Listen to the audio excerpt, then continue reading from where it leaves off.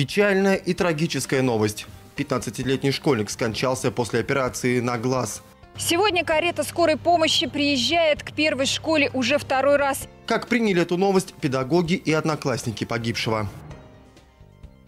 Зона безопасности.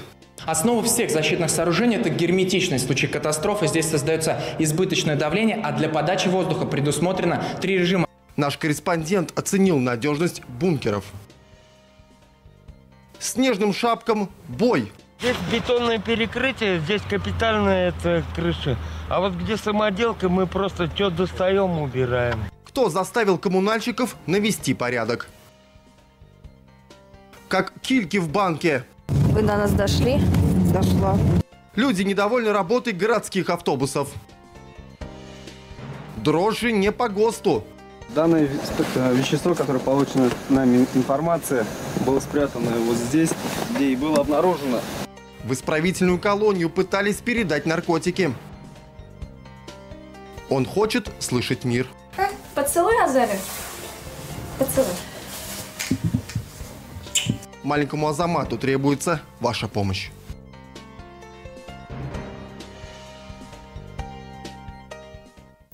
Об этом и не только прямо сейчас. Это новости на телеканале НТР в студии Александр Комаров. Здравствуйте. Выстрел оказался смертельным. Нынешней ночью подросток, которому одноклассник попал в глаз из пневматического пистолета, скончался. С первых минут после трагедии врачи говорили лишь о потере зрения. То, что ранение может привести к гибели ребенка, стало полной неожиданностью для всех. Продолжит Наталья Лушникова. Сегодня карета скорой помощи приезжает к первой школе уже второй раз и, возможно, не последний. Сегодня учителя и ребята, узнав о смерти одноклассника, пребывают в настоящем шоке. Помощь врачей уже понадобилась одной из одноклассниц погибшего и учителю, во время урока которого и произошло ЧП. Сейчас психологи работают с ребятами и педагогами. С их слов общаться с журналистами ни те, ни другие пока просто не в состоянии. Дети в состоянии острого горя, подавленные, конечно, плачут. Близкий человек, как ни крути, они с ним не менее пяти лет вместе пробыли. Это в любом случае горе. Нам, взрослым, трудно с таким горем справиться, они еще подростки. Педагоги тоже в состоянии острого горя, потому что они его обучали, они с ним общались так или иначе. В любом случае смерть ребенка, подростка – это горе для всех. Напомним, в минувшую субботу один из учеников принес в школу пневматический пистолет. Передал его однокласснику, не сообщив, что он заряжен. Неосторожное обращение с оружием привело к выстрелу, который стал роковым. Пулька попала в глаз сидящего рядом подростка. Пациент поступил в приемный покой около 11 часов дня. И э, ему было сделано обезболивающие препараты. И при осмотре у ребенка было повреждение левого глаза, проникающее ранение э, с повреждением роговицы, с выпадением оболочек глаза, с повреждением хрусталика. И при объективном осмотре э, он не давал ни предметного зрения, ни э, светоощущения. То есть изначально рана неблагоприятная. В этот же день пострадавший был доставлен в Казань, где перенес две операции. После последней у мальчика случилось осложнение. Сегодня в половине третьего утра его не стало. Остановилось сердце. По словам специалистов, предугадать это было невозможно. А, к сожалению, в раннем послеоперационном периоде, через 7 часов после э, хирургического вмешательства, которое прошло успешно, ребенок пришел в себя, был в сознании, активен, наступила э, внезапная Э, жизненно угрожающее, очень редкое осложнение. Это так называемый э, глазнично-кардиальный рефлекс. То есть, э, когда опосредованно, дело в том, что из, если вернуться к функциональному строению, к анатомии центральной нервной системы, все мы помним, что глазное яблоко – это часть центральной нервной системы, вынесенная на периферию. И, соответственно, заложены связи опосредованной через центральную нервную систему между глазным яблоком, структурами орбиты и сердцем. И есть такое грозное осложнение, когда в результате вот этого воспалительного процесса может произойти внезапная остановка сердца, что и имело место в данной ситуации. К сожалению, реанимационное мероприятие, направленное на спасение ребенка, благодарим, спасти его не удалось. В управлении образования случай назвали вопиющим и готовы оказать любую помощь семье погибшего ребенка. Вот я бы хотел бы выразить свои соболезнования семье Яникеева Айрата, маме Ольге Васильевне, э, папе, э, потому что это действительно тяжелая утрата, это э, в связи с этим с несчастным случаем. Вот, и для нас это вообще было как трагедия, сам случай, и сегодня, что ночью произошло. Вот, то есть это просто-напросто вопиющий случай для нашего района, для города. Сейчас э, будут проходить э, классные часы, э, работа будет проходить с родителями о недопущении. То есть мы будем сейчас просить родителей, чтобы они контролировали личные вещи своих детей, которые идут в школу, что они несут в школу. Вот, то есть беседы дома, чтобы они проводили э, о недопущении с собой, чтобы не приносили в школу колющие, режущие, огнестрельные какие-либо предметы. Попутно решается вопрос и с педагогом, в отсутствие которого произошел выстрел. Со стороны управления образования ее ждет дисциплинарное взыскание. Более того, дело передано в Следственный комитет. Наталья Лушникова, Евгений Лызаев. Новости НТР.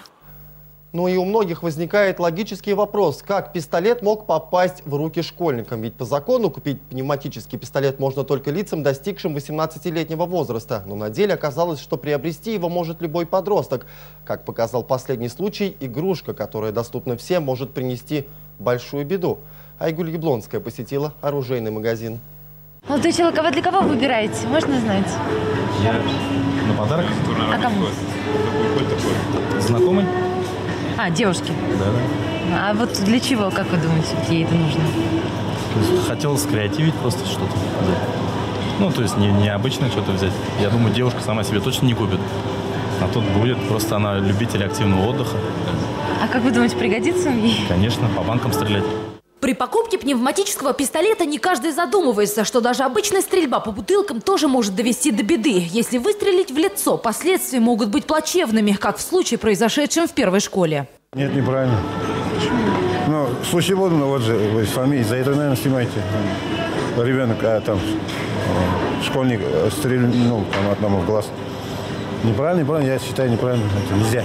Детям дают что оружие пневматические. Нельзя, нельзя. Нельзя никакое оружие. Больше запретить надо оружие. Я считаю, в этом ничего такого нет. Дети могут из чепока глаз себе выбить. Поэтому пневматику, игрушка. Думаю, ничего такого нет. Купить пневматический пистолет сегодня может любой человек и даже подросток. В магазинах большой ассортимент, невысокая стоимость, а главное, для его покупки не нужно никакой лицензии и разрешения. Со слов продавцов, нижнекамские подростки оружие себе покупают, но чаще для них это делают сами родители. Визуально оцениваем людей. То есть, ну, если, даже если нету уж 18, все равно как-то смотрим, если человек более-менее адекватный, продаем. Если даже люди взрослые и в состоянии алкогольного опьянения, мы не продаем Как-то визуально еще тоже оцениваем человека. А вот на вашей практике, сколько вы работаете, было такое, что подростки приходили, покупали? Подростки были. Были, ну, обычно приходят с родителями уж. Случае погибшего старшеклассника его сверстник приобрел пистолет не в специализированном магазине, а в интернете на сайте Барахолка. Там представлен огромный выбор и ценовая политика вполне подъемная для подростка. Купить пневматический пистолет легко и просто, без всяких документов, можно за тысячу рублей. На данный момент действующее законодательство разрешает приобретать пневматическое оружие лицам, достигшие 18-летнего возраста. От себя хочу добавить, при обращении и хранении любого вида оружия необходимо создать условия для сохранности данного оружия и исключить возможность доступа посторонних лиц, в особенности детям. Хотя пневмат и не является боевым оружием, как показал последний случай, его использование может довести до реальной беды. Поэтому перед его приобретением стоит сто раз подумать, а надо ли. А родителям все-таки нужно контролировать своих детей и их покупки. Айгули Блонская, Ренат Харасов, Новости, НТР. Выпивший водитель привлек внимание пешеходов. Произошло это после того, как мужчина въехал в стоящую «Ладу Калина», которая, в свою очередь, залетела под автобус с пассажирами. Очевидцы ДТП еще до приезда полицейских поговорили с виновником аварии. Внятного объяснения получить не удалось, а вот Регина Сулейманова смогла восстановить полную картину событий. Здравствуйте. Вы за рулем? Да, я. Состояние алкогольного опьянения? Да. А почему? Да, пришлось так. Чего пришлось? пришлось уж ехать на это, домой уж. Ну домой едут, но никак не в пьяном виде. Ну, ну вот что это уж Это видео снял очевидец вчерашнего ДТП. Оно сразу же попало в сеть и вызвало общественный резонанс. На кадрах видно, что мужчина пытается наладить диалог с виновником происшествия, но тот не в силах связать два слова. Очевидно, что водитель Гранты пьян. Много выпили? Да я не пил, совсем не пил. Совсем? Совсем, совсем, совсем. Когда наша съемочная группа приехала на место происшествия, героизм мужчины уже пропал. Наверняка начал осознавать, что натворил. Водитель Гранты влетел в калину, которая остановилась на светофоре, от удара въехала в автобус с пассажирами. Помощь к пострадавшим прибыла быстро, так как ДТП произошло недалеко от больничного городка. И, как стало известно, в аварии пострадала девушка. Ей понадобилась медицинская помощь.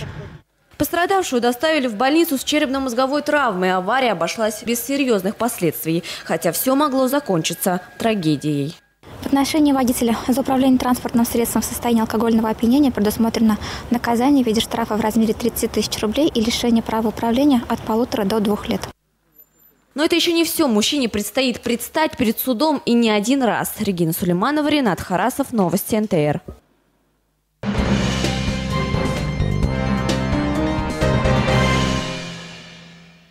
Нижнекамская прокуратура заинтересовалась снегом, который лежит на крышах. Надзорный орган требует от должностных лиц убрать снежные наросты во избежание беды. Поводом для прокурорского вмешательства явились обращения местных жителей по поводу ненадлежащей уборки крыши и территории многоквартирных домов от снега на льде сосулек.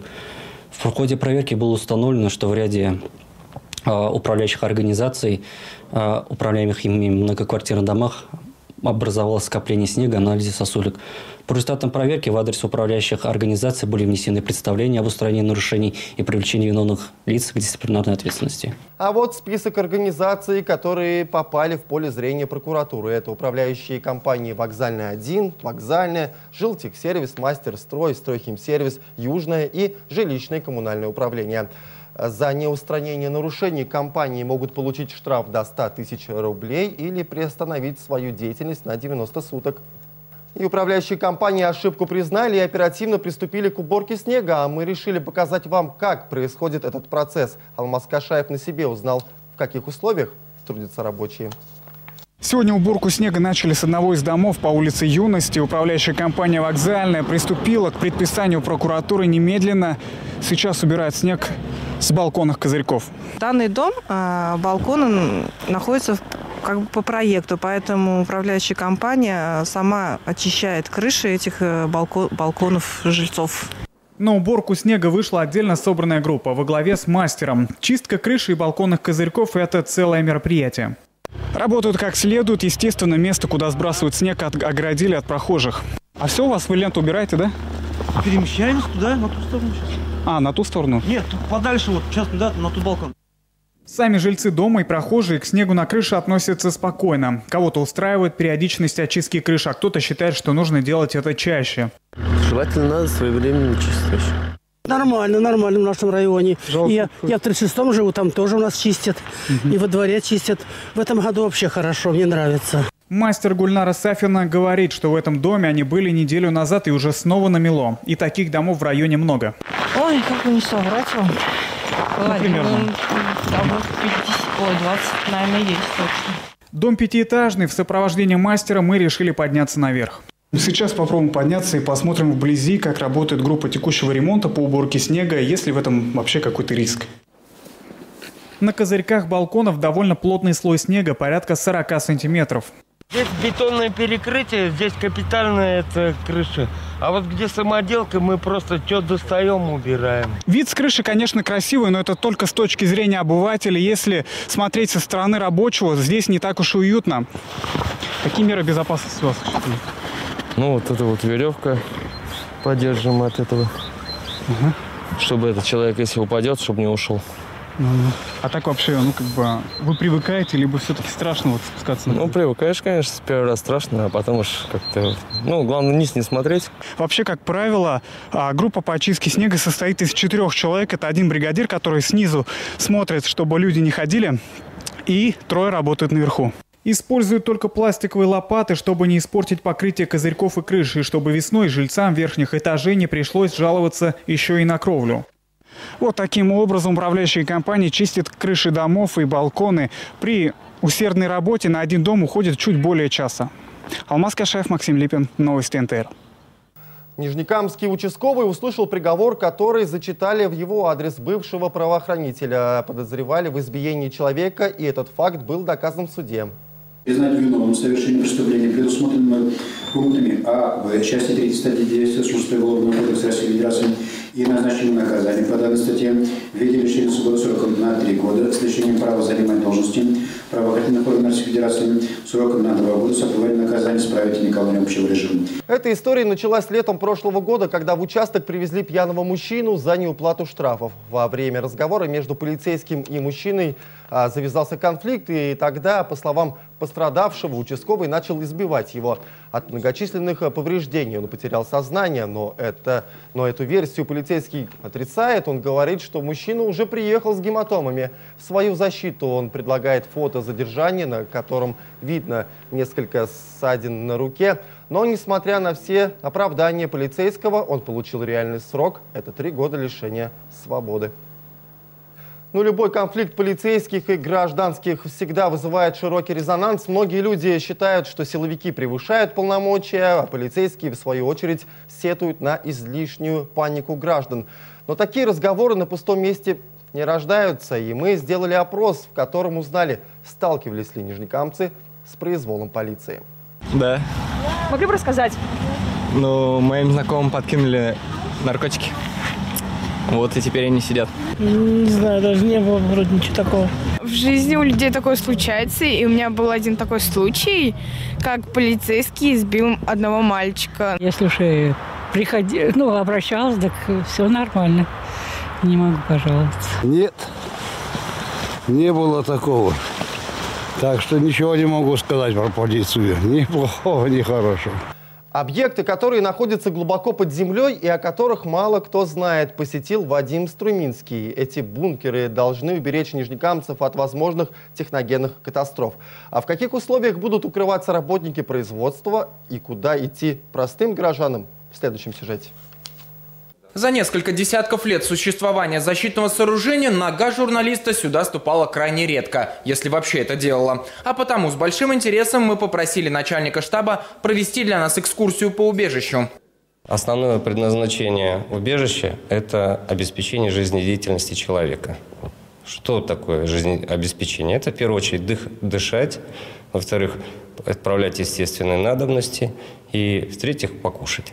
Вот как бы эти три основных пункта. Поражающий фактор ядерного оружия, боевые отравляющие хим вещества, последствия техногенных катастроф. Двое суток. Ровно столько времени люди смогут провести здесь в безопасности и абсолютно ни в чем не нуждаться. Это убежище рассчитано на тысячу человек. Больше людей, меньше кислорода. Собственно, первое, о чем пошла речь, это подача воздуха.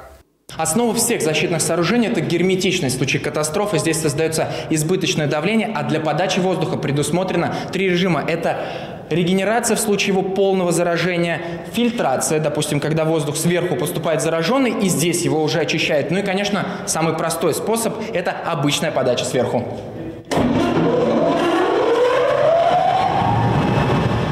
Еще один важнейший вопрос – снабжение водой и электроэнергией. Что касается последнего, то основной источник питания – подача электричества из города. В случае перебоя в защитном сооружении есть свой дизель-генератор мощностью 50 киловатт. С живительной влагой дела обстоят следующим образом. Вода подается тоже централизованно, городской цикл. И на случай, э, когда будут перебои, имеется предусматривается так называемые бачки для воды, объем 7,5 кубических метров. И также имеется еще дополнительно, э, где дизель, там имеется э, бак для технической воды. Учебный класс, санузел, медицинский кабинет и пункт приема пищи. Еду обеспечит организация градообразующего предприятия, отвечающая за питание. И это не случайно, ведь 23 убежища, которые есть у нас в городе, предназначены для укрытия персонала объектов, представляющих экономическое и оборонное значение. В нашем случае это промышленные гиганты Нижнекамска.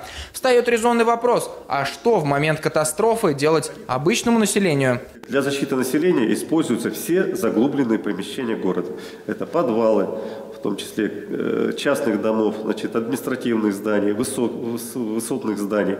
То есть в 2015 году мы провели инвентаризацию значит, МЧС, под МЧС, эгидой МЧС России э, заглубленных помещений. То есть э, в городе мы одновременно почти ну, 120, даже 150 процентов можем укрыть все население города в данных э, заглубленных помещениях. Отвечать за открытие тех самых подвалов должны сотрудники управляющих компаний. Что касается защитных сооружений, то даже в мирное время они не простаивают. Каждый месяц среди персонала проводятся обучающие занятия. В оперативный штаб входит 21 человек. Слесари, электрики, медики, психологи. Этот бункер построили 39 лет назад. За это время по прямому назначению он ни разу не использовался. И хорошо, если бы не пригодился еще долгие годы. Вадим Струминский, Ренат Харасов. Новости НТР.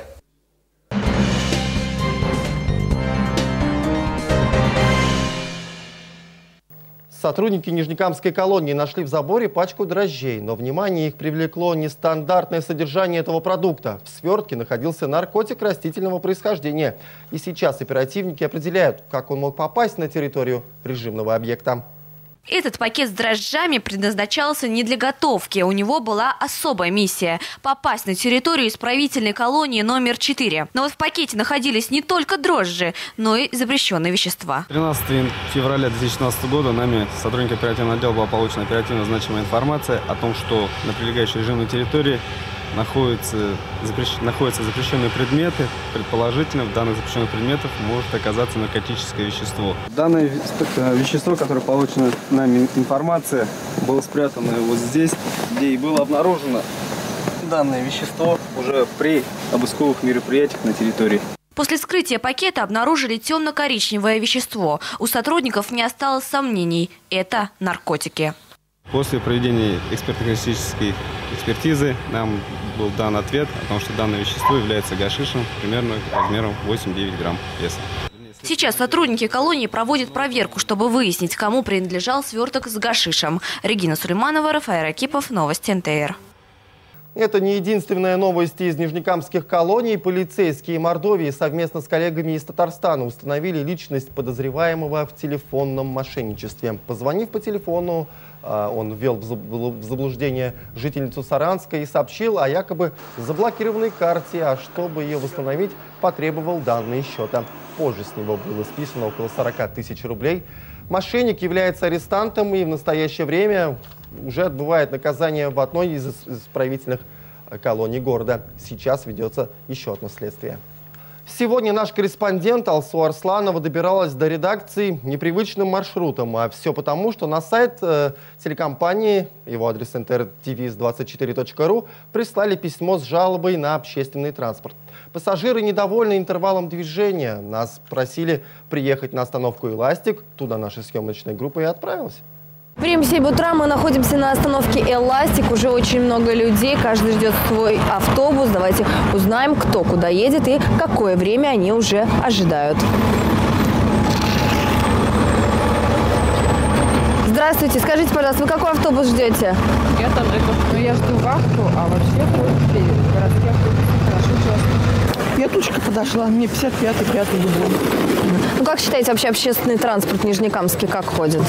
Ну, вообще-то в последнее время я бы не сказала, что так уж отлично, как раньше начали ходить через 15 минут. Сейчас бывают задержки. Если провести промежуточный итог, то можно сказать, что большая часть людей на этой остановке ждет вахтовый автобус. Другая половина либо пятый, либо 55 маршруты. Давайте тогда мы вместе с вами поедем. Вместе с вами будем сегодня ждать автобус и посмотрим, э, долго ли нам придется его ждать и какой он будет переполненный или свободный. Так, это, заси... ваше, это ваше желание. Засекаем время. Время 7.12. 7.12.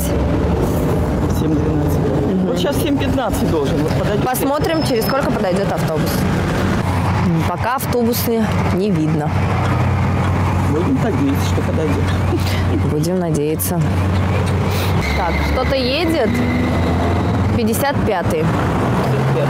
Перед этим ушел, по-моему, 55-й. Мы прождали три минуты, да? Сейчас попробуем зайти. Приехал наш автобус, мы прождали три минуты, сейчас попробуем попасть.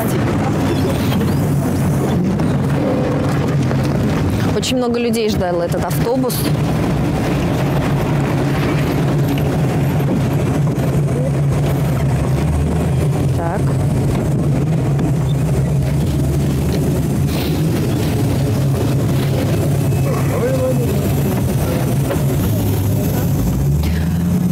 Пазик небольшой, народу довольно-таки много, но не скажу, что тесно, довольно комфортно. Необходимо только держаться за поручни, чтобы не упасть. Одна из главных проблем в общественном транспорте – заплатить за проезд. Людей много, дойти до кондуктора проблематично. Давайте попробуем передать за проезд. Мы уже проехали одну остановку, а еще не заплатили. Так. Где у нас кондуктор? Вы до нас дошли? Дошла. Так. Скажите, пожалуйста, вообще у вас много людей? Много народу.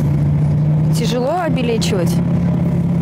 По-разному бывает, когда народу много, да, много. Трудно обелечивать. Скажите, пожалуйста, вы часто ездите на этом маршруте, на этом автобусе? На работу еду, да. И как он, как ходит, как считаете? Сказала, часто. Ну вот мы и доехали до нужной нам остановки. Наш путь занял не больше 10 минут. Это остановки «Эластик» до «Спортивной». Вместе с ожиданием около 20 минут все у нас это заняло. В автобусе было, конечно, многолюдно, но довольно комфортно.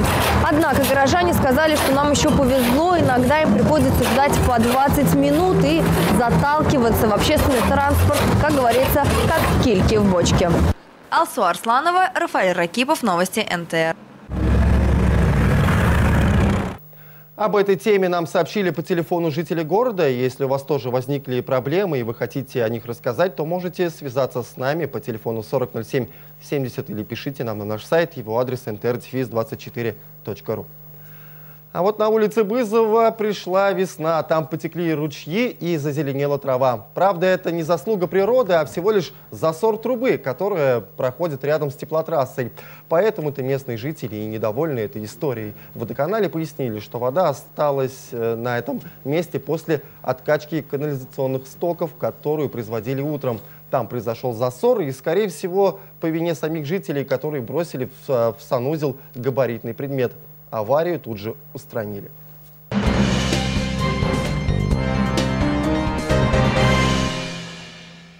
Дошагали до финала. В Нижнекамске выбрали школьников, которые лучше всех ходят строем. Участие в смотре приняло 9 команд.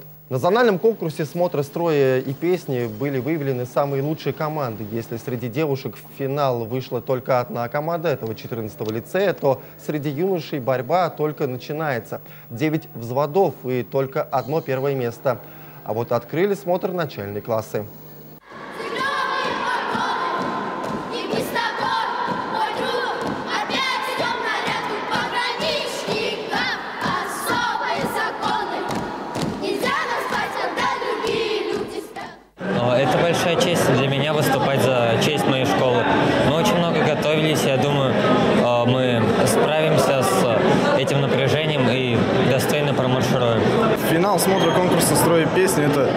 Особое мероприятие для каждого парня, мальчика, мужчины, потому что тут мы показываем свою доблесть, мы показываем свой патриотизм, как мы любим Родину, как мы будем, умеем ее защищать. Года три назад было волнение, а сейчас уже спокойно. Воспринимаю это как должное, и маршировать надо, этого воспитывать патриотизм. В итоге победителями конкурса стал взвод девушек 14-го лицея. Среди учебных заведений района Камско-Полянская школа, среди парней лучшая 29-я школа. Их наградили дипломами и сертификатами от главы Нижнекамского муниципального района. И особо приятный подарок – это, конечно же, денежное вознаграждение.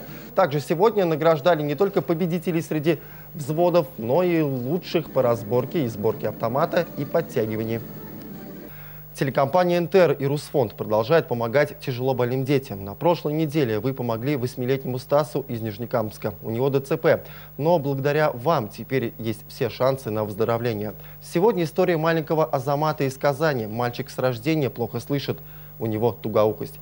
В свои четыре года он плохо различает звуки и почти не говорит. Что тут написано? Что тут? Посмотрим.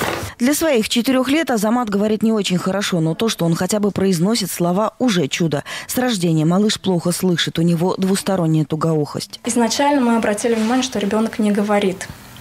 Потом уже в три годика заметили, что он все-таки плохо слышит.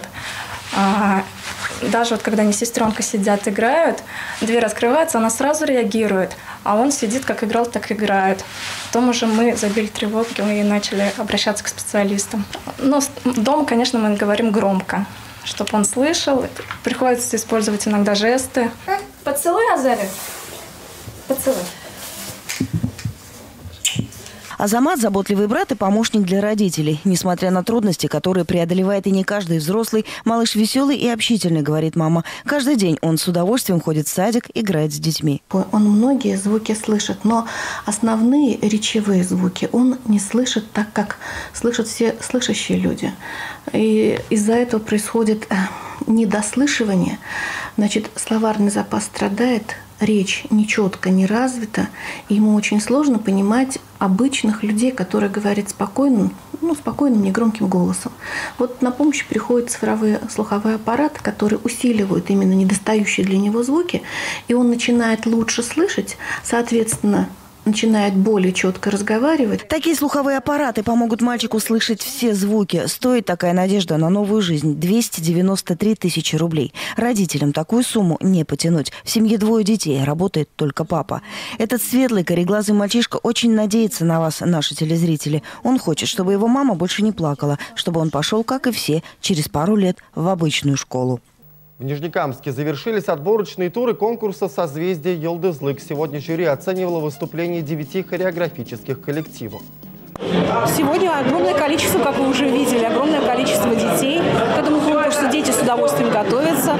Всем хочется попасть в город Казань, потому что там детей встречают с большим э, удовольствием. Дети участвуют в этом конкурсе. После сложного обсуждения жюри выберет тех, кто пройдет национальный этап фестиваля. Он состоится в Доме народного творчества 4 и 5 марта. Список огласят уже в понедельник. Победители же поедут на суперфинал в город Казань. А вот после сегодняшнего выступления у ребят осталось хорошее настроение, ведь многие из них друзья. Но не стоит забывать, что это все-таки конкурс, и давайте посмотрим, как это было.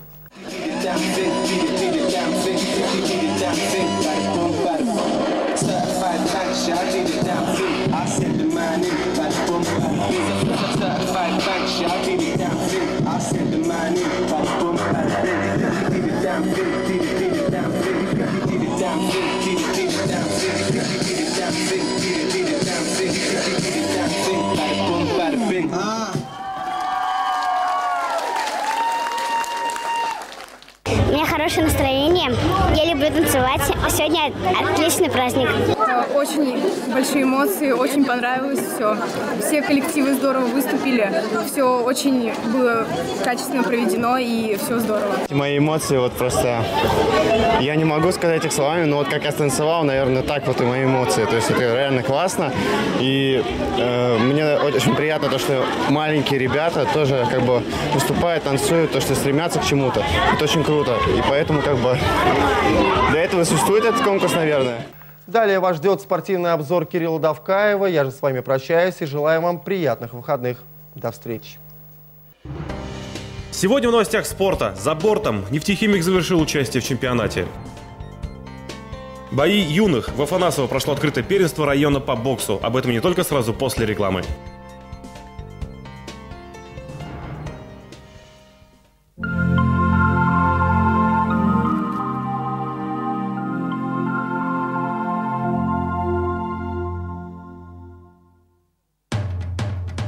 Как ни крути, люстра все равно висит. Год назад мастер своего дела Денис Иванович установил ее. А Макси Свет дает год гарантии на люстры и их установку.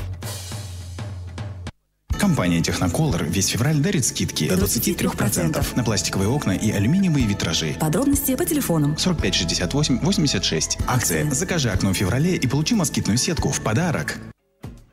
Квартиры на живописном берегу Камы. Свободная планировка. Индивидуальное газовое отопление. Кладовые. 45 68 86.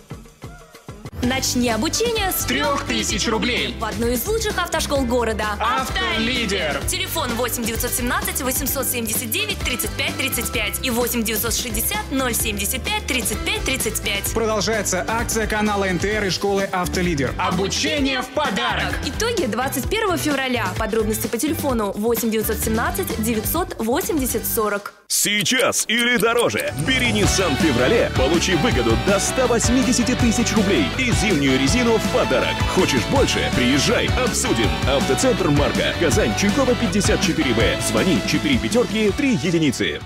Современные модели слуховых аппаратов в центре «Радуга звуков». Незаметные внутриушные для детей и взрослых. Телефон в Нижнекамске 32 33 53. В магазине «Тысячи мелочей» новое поступление. В большом ассортименте инкубаторы, инфракрасные лампы для животных, кормка для кур, ракушка, рябушка, несушка, мел кормовой и многое другое. Магазин «Тысячи мелочей». Проспект Мира, 105А. Мужчины бывают разные. Серьезные и смешные. Влюбленные и любящие. Подарки для всех в гипермаркете Эссен. К мужскому празднику от чистого сердца. Подарочный набор Тимотей. Шампунь и гель для душа всего 139 рублей. Сломался компьютер. Что же делать? Звони Fix Smart. Это ремонт компьютеров профессионалами с выездом на дом без обмана и по выгодным ценам. Телефон в Нижнекамске 488 321. Fix Smart. С нами опыт.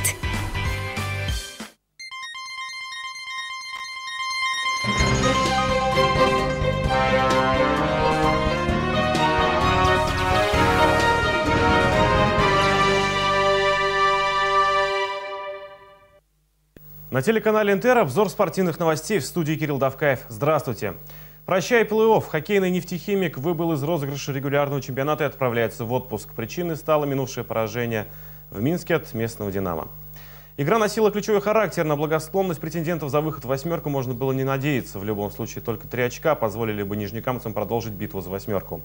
Набрать очки получилось, но только от вылета наших это не спасло. Минчане повели в счете под занавес первого периода. За минуту до финальной сирены химики сравняли. В итоге все решилось в серии булитов, где подопечные Назарова уступили 1-2. Следующий матч нефтехимик проведет в Риге против «Динамо», после чего отправится в отпуск ждать нового сезона. А вот для нашей молодежки этот сезон закончится еще не скоро. «Реактор» сейчас возглавляет турнирную таблицу Восточной конференции, имея в своем активе 109 очков. В сводной таблице чемпионата наши парни уступают по количеству результативных баллов лишь Красной Армии. После перерыва подопечные Соколова выйдут на лед уже завтра. Стартует мини-серия в Тольятти матчами с местной ладьей. После болельщиков ждет татарстанское дерби, в рамках которого наши на выезде сыграют с казанским Ирбисом. В Нижнекамск синебелы вернутся 26 февраля. Тогда в гости пожалуют сибирские снайперы. Но пустовать оставшееся время в нефтехим-арене не придется. Профессиональный лед теперь открыт и для любителей. Первый прием посетителей на каток Ледового дворца нефтехим-арены состоится 18 февраля. Для желающих предусмотрено два сеанса в 19 часов и в 20 часов. Можно оплатить сразу оба сеанса и кататься целых два часа. Коньки выдаются под залог документа, удостоверяющего личность. Один час катания со своим инвентарем обойдется в 100 рублей, аренда коньков в 150. Для организованных групп от 10 человек действуют специальные тарифы.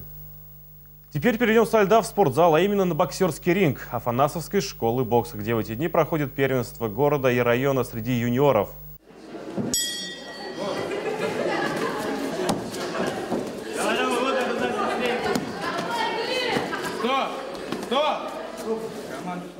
Они на сегодняшний день набираются опытом. Какие-то ребята, которые поопытнее боксируют, они смотрят на них, этим же набираются опытом. Этого мы и проводим. Ясно? Хорошо? Бить надо, бить. Сам дышать. Давай, еще раз счет. Да, сейчас. Последний раунд. Все, побить надо, ясно? Поиграй. Живот как раз ударь, пусть руки опускает. Дай живот. Последний раунд, давай.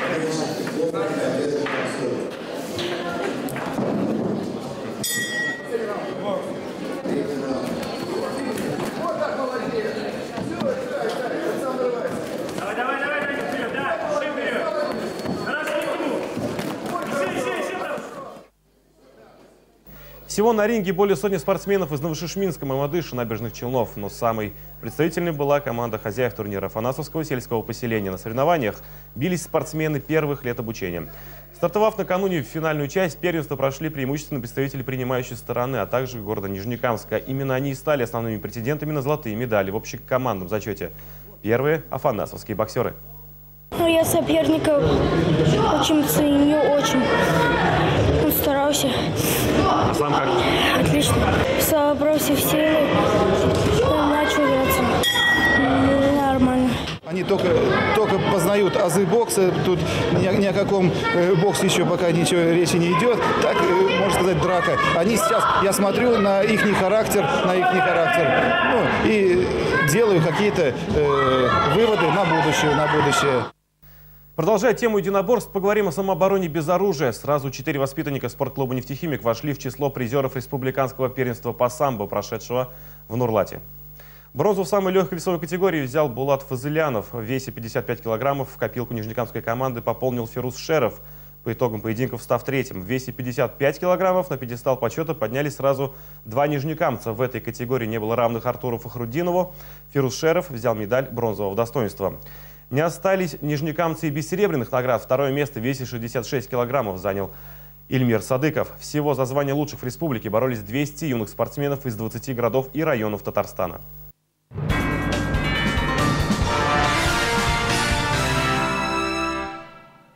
Ну а теперь немного о том, что ждет нас в эти выходные. Выдадутся они весьма насыщенными. Долгожданная лыжня России, которую ранее перенесли ввиду неблагоприятных условий, состоится в эту субботу. Мероприятие пройдет в лесном массиве у спорткомплекса «Батыр». Массовые забеги стартуют в 10 утра, торжественное открытие в 11.00. Ну а поклонников национальной борьбы в этот день ждут в спортзале «Факел». Там пройдут ежегодные соревнования по крэш. На этот раз в новом формате открытого турнира. Нижнекамские спортсмены померятся силами с представителями Елабуги и Заинска. Начало в 10. Также в субботу с 10 до 12 часов дня в Дёдзё 3 Дю США пройдет мастер-класс девятикратного чемпиона Таиланда по тайскому боксу Паяо Канджанграта. Ну а в 17.00 в Доме народного творчества стартует грандиозный турнир «Фестиваль единоборств», событий, масштабов которому в Татарстане еще не было. Не пропустите. Не придется нижнекамцам скучать и в воскресенье. В легкоатлетическом манеже спорткомплекса «Шинник» пройдет дебютный турнир по легкой атлетике памяти первого директора спорткомплекса Валерия Дмитриева. Открытие намечено на 11.30, первые старты в 12.00. Также в воскресенье впервые в городе пройдут соревнования по женскому силовому троеборью. Организатором выступает Нижнекамское движение «Будь в форме». Участницам предстоит выполнить приседания, вис на перекладине и отжимания с упором на колени. Заявиться может любой желающий. Все пройдет в спорткомплексе «Ярыш» начало в 14.00. Ну а любители автогонок могут поддержать наших пилотов в соседнем Автограде. Команда Виати МЦ Автокросс примет участие в благотворительных стартах за Кубок Салавата. Соревнования входят в официальный календарь Федерации автомотоспорта. Кубок пройдет в набережных Челнах, место проведения ипподром. На этом у меня все. Смотрите далее в эфире НТР. Прогноз погоды. Я же с вами прощаюсь и напоминаю, что связаться с нашей редакцией можно по телефону 400770, а также посредством сайта ntrdefis24.ru. До встречи в эфире. Спортивных вам выходных. Отделение Российского союза боевых единоборств в Нижнекамске и исполком Нижнекамска представляют впервые на сцене Дома народного творчества поединки по четырем видам боевых единоборств в рамках ежегодного фестиваля боевых единоборств. Полноконтактные бои, показательные выступления, красочные шоу-номера и, конечно, почетные гости. Многократные победители и призеры мировых чемпионатов. Специальный гость – девятикратный чемпион Таиланда, мастер Паяо Каджанград. Официальный партнер маркет спортивного питания «Спортфит». Генеральный информационный партнер Нижнекамская телерадиокомпания «НТР». 18 февраля в 17.00. Вход свободный. Предварительная запись в кассах ДНТ.